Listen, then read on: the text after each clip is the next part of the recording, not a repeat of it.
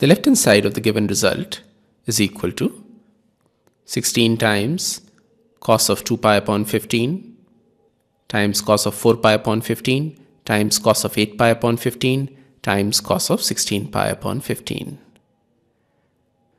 Now multiply and divide this expression by sine of 2 pi upon 15.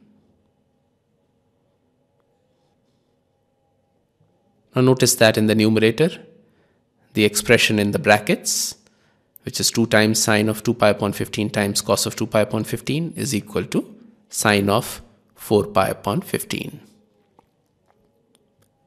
Therefore, the left hand side is equal to 8 upon sine of 2 pi upon 15 times sine of 4 pi upon 15 times cos of 4 pi upon 15 times cos of 8 pi upon 15 times cos of 16 pi upon 15.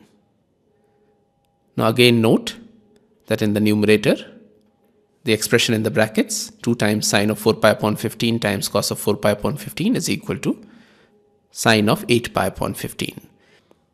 Therefore, the left hand side is equal to 4 upon sine of 2 pi upon 15 times sine of 8 pi upon 15 times cos of 8 pi upon 15 times cos of 16 pi upon 15. Again, note that in the numerator, the expression in the brackets, which is 2 times sine of 8 pi upon 15 times cos of 8 pi upon 15 is equal to sine of 16 pi upon 15. Therefore, the left hand side is equal to 2 times sine of 16 pi upon 15 times cos of 16 pi upon 15 in the numerator. And in the denominator, we have sine of 2 pi upon 15. The numerator is equal to sine of 32 pi upon 15. Now sine of 32 pi upon 15, which is the numerator, can be written as sine of 2 pi plus 2 pi upon 15. Therefore, the left hand side is equal to sine of 2 pi plus 2 pi upon 15 divided by sine of 2 pi upon 15. Now, sine of 2 pi plus an angle is equal to sine of that angle. Therefore, the numerator simplifies to sine of 2 pi upon 15.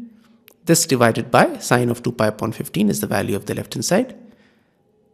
This further simplifies to be equal to 1, which is the right hand side. This completes the proof.